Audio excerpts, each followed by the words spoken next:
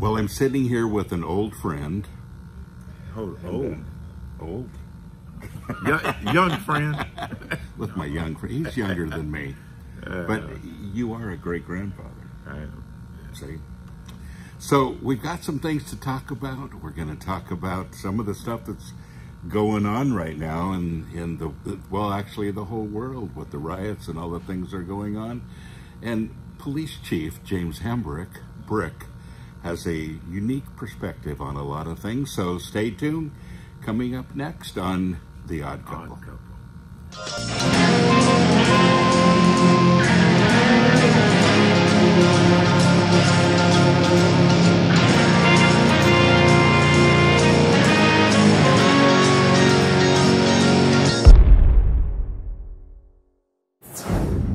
Well, thanks for joining us today. It's uh, it's good to be back and having coffee again together. We haven't done this for a while.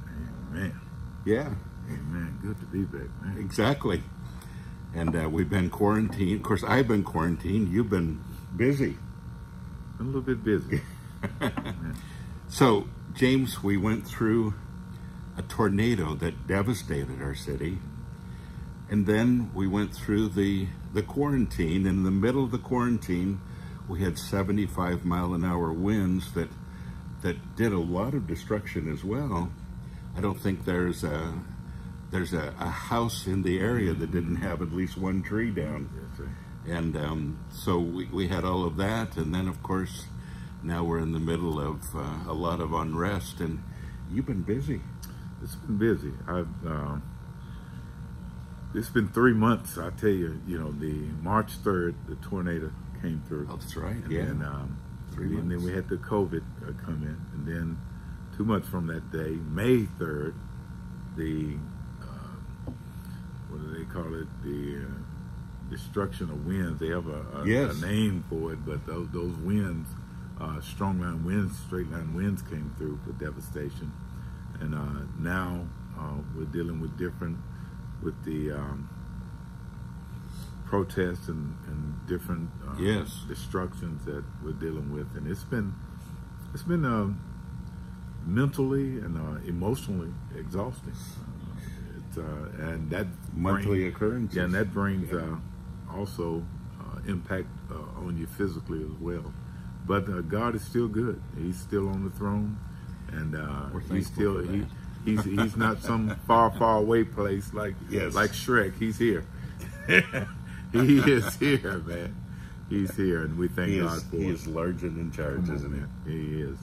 So, James, you know, the, the quarantine, people staying home, it, it brought a, a few more difficulties. There was, well, I think you told me theft was up quite a bit in the city. And shoplifting. shoplifting and and uh, you know people mostly coming from other places to do that and and now we have people coming from other places it seems like um, to do well rioting and there's a difference between peaceful protest and rioting as as we've seen but I wonder if we could maybe zero in on that and talk about it from from your perspective uh, from a police chief.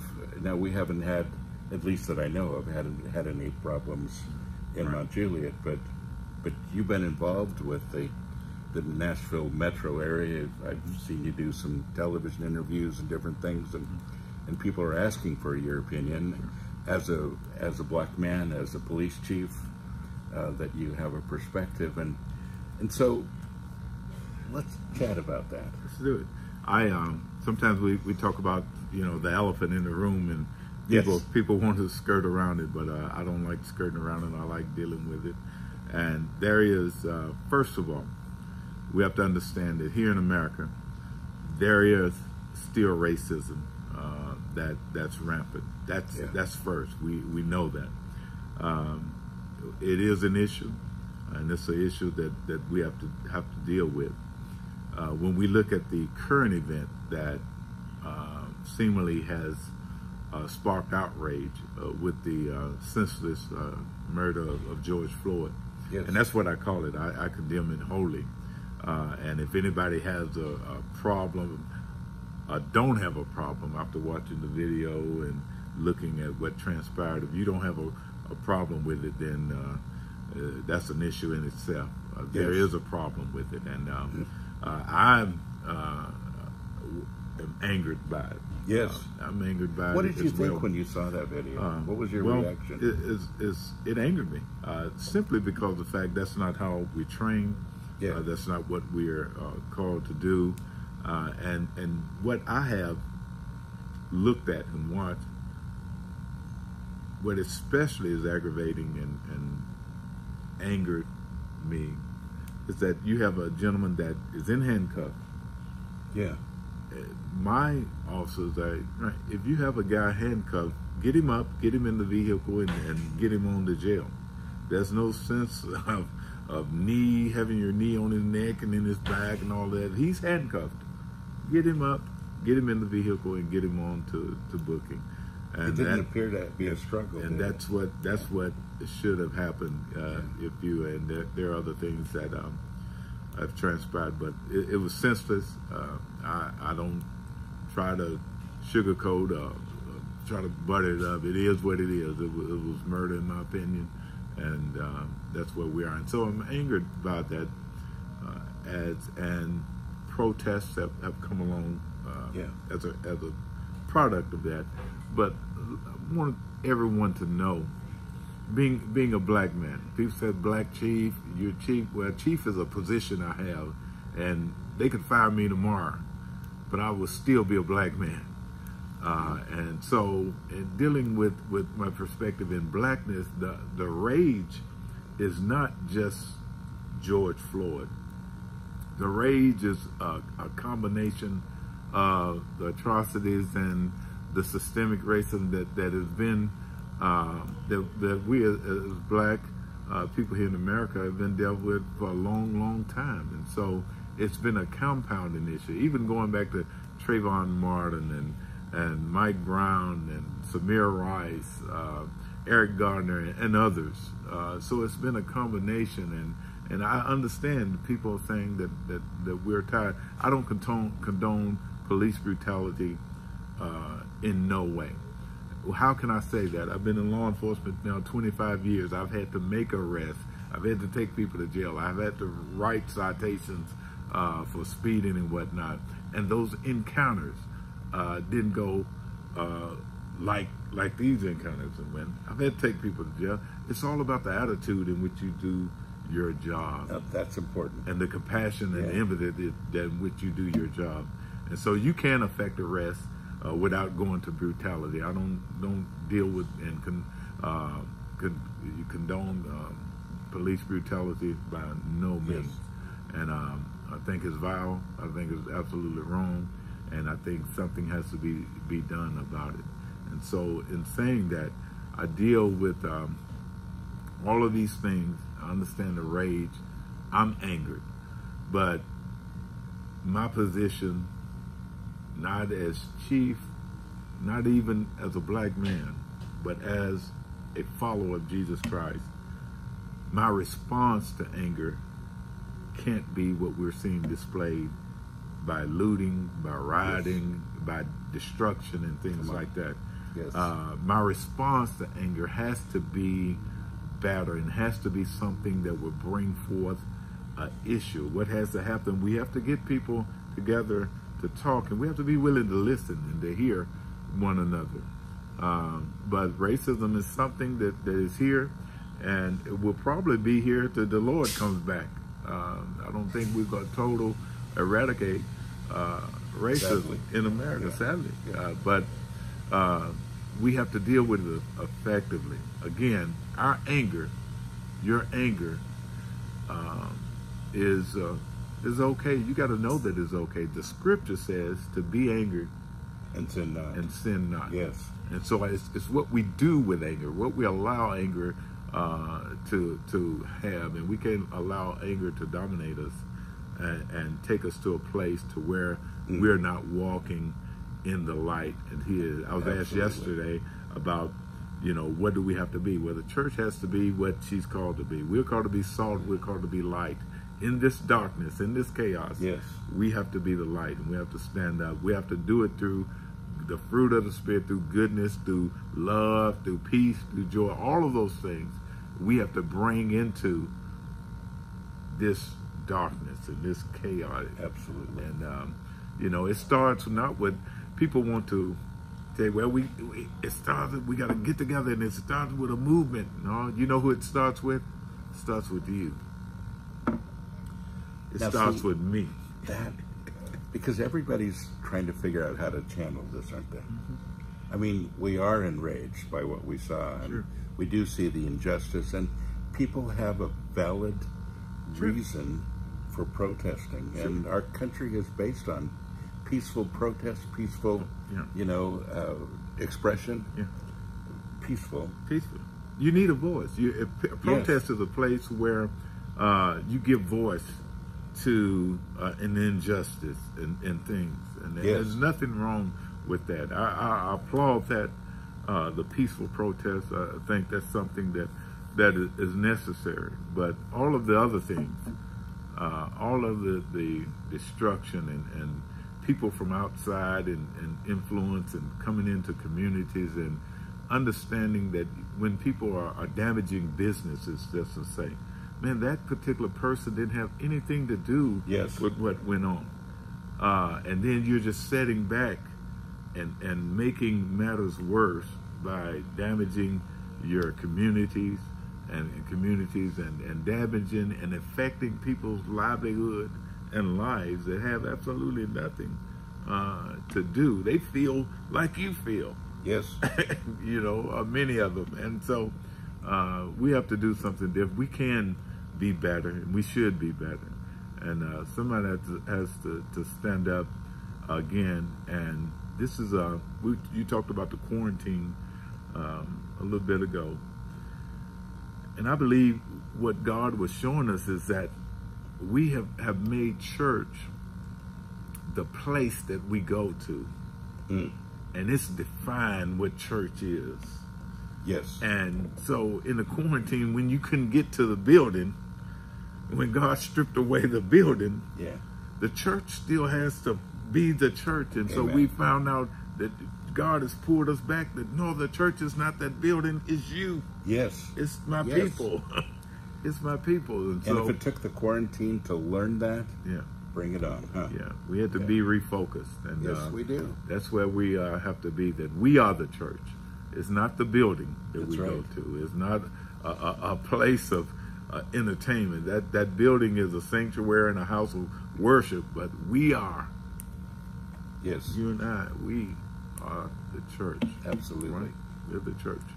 Well, so for people who are feeling like they're, I need to express this. I need to get the anger out. I need to, I need to let people know what I'm feeling. I need to be part of a, of a bigger movement. I need to, you know, to let out my frustration. All of that. Peaceful protest is is one way to begin to express what you feel. But James, you said it goes deeper than that. It's it's individual. Talk about that a little more. Well, again, how you allow things to impact you matters. And it starts with, it, everyone has to have the mindset that it starts with me. It's not what are, what are they going to do about it? Mm. It's really not what are we going to do about it. It starts with what am I going Yes. to do about it. And not just waiting for somebody else to do And so, and when I'm Yeah. talking about doing something, uh, we got to respond in goodness. And we found out that goodness, uh, a fruit of the Spirit, Lord said goodness, goodness is the opposite of evil. And so we have to respond in good. goodness. In spite of what somebody does to us, we have to respond in goodness. We can't go back uh, to the law area in Scripture where Paul was, was warning us against. Uh, we have to, to be spiritual and we have to walk in goodness. And we can't go again eye for an eye, tooth for a tooth. And we can walk, allow the flesh to dominate us. Yes, Because the flesh always wants to get even. All right? absolutely. Flesh wants to, hey, you hurt me, I'm going to hurt you. That's what the flesh does. And don't you think we feel justified to to hate the haters? Yeah, we can't do that. Our response Yeah. has to be goodness. Our response has to be love. And encouragement. Jesus said, Yeah, yeah. Hey, bless them that, that persecute you and say all manner of evil against you falsely. Yes. You might say. He said, they, they did that to the prophets which were before us. And so he said, we, we have a great response and we have a, a power, and that power is called love. Yes. And that should be our response at this hour. Uh, love and unity. And you, yeah. And unity doesn't come from looking at color or race. No. It really comes from the heart. That's it. Because you know we we call ourselves the odd couple, not just because we're odd, but our close friendship is yeah. odd. We we couldn't be more opposite probably, right. as far as you know socially, and yet none of these things are a barrier. Mm-hmm. You know now. Um, James is not quite as good looking as I am, but I love him anyway. That's you know. Everybody, hey, everybody can get it, bro. everybody can't have it. Yeah. But you know, the, the thing that we share is the same. We really do have very similar hearts. Yeah. And when we get together, as we do every week, and have coffee and talk, and, um, you know, our friendship is very genuine, but it's, but it's there because we have a camaraderie right. in the Lord that, that supersedes all of the other things. And, and I think, James, that's where we have to get to in the United States and in every country that's going through this. I, you know, I I just challenge believers, man. Um, again, people saying, "What are you going to do?" They, I, they've asked me, "Well, Chief, with, with all these things, what are you going to do now? Mm. What is it going to do?" I said, "We're going to do what we've been doing." There you go.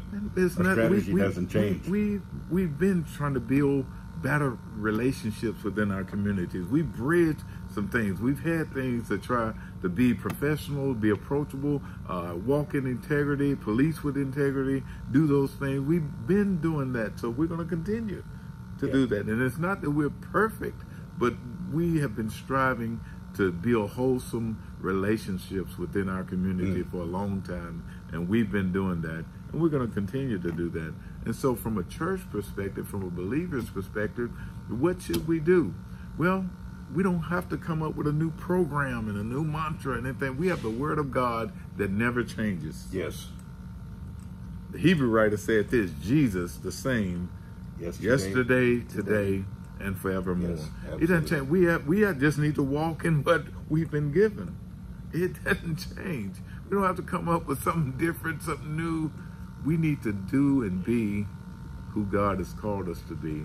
We need to be the church. The church needs to be a, we are salt, we are light, and we need to be that, and we need to demonstrate that at this hour. Absolutely. Not come with some, trying to come up with some new program, uh, some new form or forum. We need to walk in what God has already given us and laid out. And we need to do that in love, brother. And James, there's so many voices that are talking about what are the answers, what is the, uh, what's the problem, and how do we fix it? And some people say, well, you got to take all the guns away from people, then that would fix the problem. And then, of course, only criminals would have guns if we did that. Then, and and I was disappointed to see Black Lives Matter come out with you know, defund the police. We just um, that's that's nonsense. What we have to do is walk and build relationships. And this is somebody I was asked, well, if you could sum it up in one word, what would the one word be? I said, outside of love, the one word would be respect. We have to respect one another. Absolutely. In spite of differences, in spite of, of color, in spite of everything, if we respect one another, and we go back to that golden rule that we learned as a child that we treat others as we want to be treated. When we do that, man, that's on. That's on. It's so simple that it becomes profound. In a way. Absolutely. And James, your uh, your whole job as as the police chief in our mm-hmm. city is that, isn't it? Respect. It's, we got to You train your police officers to respect the people and to yeah. serve the community. Yeah. And not every not every community does that. Right. Not every police force is like that. Right. But you've had tremendous success here in the city because of your perspective right. and what your job is all about. Well, policing in America for a long time. Um, I've said it before. You've heard me say it before that it was a us against them mentality. I've never policed that way. It's not us against them. We are them. We are and, them. Uh, we, you know, we're together, and so we know that we uh, affect change. There are times when we have to issue citations, make arrests, and whatnot. But what, it, it's the manner in which we do it. It's the attitude. I tell Yes. our people, it's the attitude in which we do it, and we can do that uh, in a wholesome way because our authority. Again, I said our training, basic training came from the police academy, but our authority comes from God Himself. There you go. And when we walk in that authority and that integrity, when we police with um, just professionalism with integrity, then uh, we do the things that are pleasing to Him. Yes. And it's not just about uh, how our aim, I mean, our aim and my aim and goal as an agency head is to uh, have our, our, men and women who um, we serve police in a manner that's going to bring glory and honor to God. Absolutely. And James, it's um, it's it's not about arresting someone and punishing them. I know you've told me several times that for you, it's how can I help you? How did you get to this place, and how can we help you Sure. Through this difficult time of your life and be productive? Sure. And you guys have been proactive with it. And people think, uh, you know, that I, I'm fibbing when I tell, but I'm not. I mean, 90% of the people that I've take, taken to jail in my career thanked me for it when the Wow. time we got there. Because uh, for those that don't know, our our jail is in uh, another city within our county, so it, it takes about uh, 20 minutes or so to get there. And so on that ride, uh, being able to speak something into their lives at that time awesome. and Yes. pray for them Yeah. uh, is, uh, is And been- do you have an very- opportunity to do that sometimes too? Sure, That's great. as well. Yeah. And we've seen that that change, and we've seen that be able to um, impact those individuals more. And I've had people that have even went to prison, man. That that when they've gotten out, they've come back to my office and said, "Man, I want to thank you." Really? But we, yes, That's so. awesome. This is about the way you carry yourself and about the way you treat humanity. Not based on the color of their skin, not based whether they're a gang member or not, because I'm talking about people that were in gangs and people that were in the criminal element that when they got out of prison, they came back and they said, man, thank you. Matter of fact, they brought, some of them have brought other people to me, So I want to introduce you and, Oh, to this man. So, Yeah. and it's about, I don't pat myself on the back for that. That's all God. Yeah. That's all God. But, I'm just but, trying to be but a you're vessel. doing something right, James. we're trying. Yeah. We're trying our best. Well, there's so many organizations out there that are fighting this, and you know, I'm I'm starting a new organization, by the way. It's called White Heavy Metal Pastors Matter. What do you think? Will it work? oh man. But people got- matter. People matter, man. All And, that. uh, and I don't discredit black lives. Black lives do matter. Absolutely. And again, uh, Yes. the rage comes from being a compound and a combination of things because uh, this is, and I'm just speaking for real, uh, that uh, black men, uh, black men are killed in the same, if you put the same scenario in place, black men are killed two and a half times more than than other men, than white men are killed Really? in the same circumstances. Wow. So there is a a problem. Yeah. But uh, how we address the problem can't be by creating another problem. Yes. We have to do it wholesome, and we have to do it uh, with love, and uh, again, we have to do it with goodness. Um, I there's an old adage that says, "Man, kill them with kindness," and so the enemy that's really our enemy is not a white man, a black man. We're not the enemy. We have an enemy Yes. and it comes from the fall. And the enemy, the scripture says, we wrestle not against flesh and blood, but against principalities, against power, against wickedness in high places. Yes. And he's come to make a divide, and he wants to divide. The scripture also said that the thief, who we're talking about, Satan, comes to steal, kill, and destroy. But Jesus says, I'm come that you may have life and that you may have it in an abundant way. And that's what he wants to bring. And so black lives matter, Hispanic lives matter, white lives matter, you know, all lives matter. When we really get down to the nitty gritty of everything that's going on, we're going to find out that we're not dealing with any kind of flesh issue, really. We're dealing with a soul issue, and we're dealing with a sin issue. Yeah. And if we're going to change anything, we're going to have to get to that root. And so um, we have work to do. We do. And and here's the good news. Jesus died on the cross for sin. Yeah. He took it away. Come on. Come on. And the scripture says that he whom the Son sets free Hallelujah. is free indeed. Indeed, That's our position in Christ. Yes. And yet so many people are in bondage, and you may be one of those today. You feel bondage, you feel anything but free.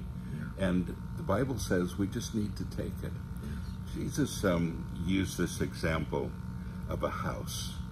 And in the house was, well, a person that was a slave in the house. And slaves in those days were usually one family that owed a debt to another family. And, and one of their children many times would become a slave or a servant or whatever in this household. And then he said, but, but as time goes on and the son of the person who owns the house takes over the house and he dismisses that person that was a slave, he said, then at that point, that slave is free indeed. No questions asked. He's free to go. And Jesus used this example for us when he says, you know, you are truly free. Yes. Truly free. So, James, not only are we free, but we have to accept our freedom. And, you know, he says, don't return again to a yoke of bondage, but be free. So, and then, you know, it's redundant almost when when we read the, the scripture that says, you know, it's for freedom that Christ set us free. And we say, well, Paul, you're just being redundant. And no, he isn't, because we don't get it. We talk about freedom, but we don't understand what it means. And you've laid that out, James. Yeah, we it's, it's that organic part of our lives that we just need to be free. Yeah, I uh, I will say this too to to everybody watching. When we look at the atrocities uh, that is police brutality, understand this: that that's a very small fraction of the law enforcement community. Mm. I want you to know that. I mean, there are good men and women in law enforcement Oh, yeah. across the globe Yes. that are doing good work, honorable work, Yes. professional work, work with integrity every day. The greater that are, majority. look, I mean, the greater majority, man, are, are doing great work. Yes. And it's it's the few that that I know what happened in Minneapolis and other places, and they, they say the old Southern word, y'all. Yeah. It's all y'all. but man, I, I understand that, but I'm telling you, there are good men and women Yes. that are working on your behalf daily, man, daily, and and they they love what they do. They're they're called to serve, and they're trying their best to police with honesty and with integrity, uh, because they have a heart to help people. And you're one of those. Well, that's what I do, brother. It's uh, it's it's all about uh, being a servant, and so I just wanted to, to say that because uh, I don't want that to get lost in translation. Yes. Uh, at this hour, when so much is uh, going on and so much divide is occurring, um, can it get better? It certainly can. Will it get better? We, God, hey, we're going to trust and depend on the Lord, man Yes. and, and walk in his integrity. And so we have work to do. And as I told our group last night, hey, let's not just talk about it, let's be about it. Let's do it. Good. I like that. Let's be about it. Let's be about it, man. You heard that. well, folks, thank you for joining us again. And James, we're going to get a little more regular now in doing our odd Praise couple. God. Praise It'll God. be a little more produced in the future too. I apologize that we don't have a lot of good production here, but We're together, though. you know, when, when you're as good looking as we are, you don't need a lot of production, do you? My Lord. See, that's it. Well, folks, thanks for joining us. I um, I, I pray that this ends soon, Yes. but it's you and I that are going to make that happen. Yes. And the answer isn't to be be hating the people that are hating, or judging the people that are confused and maybe going out of their own limits, but really begin to love, love, love. Love, love. And, you know, the old adage says love conquers all, but Christ's love conquers all. That's it. And as we go forward and as we are the church, as he just said, people together, that kind of love, Yes. that's what we need. That's what we need, man. Yes. Well, thanks for watching. God bless you. We'll see you next time. Peace.